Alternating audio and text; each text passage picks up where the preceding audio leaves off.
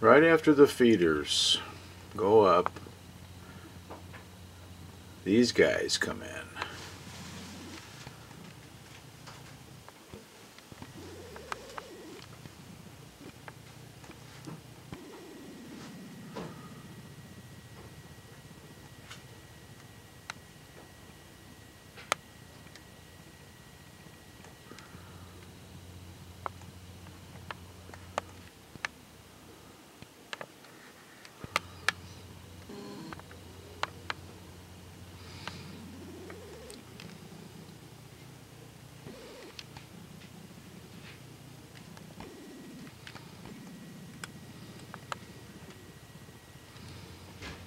They find something.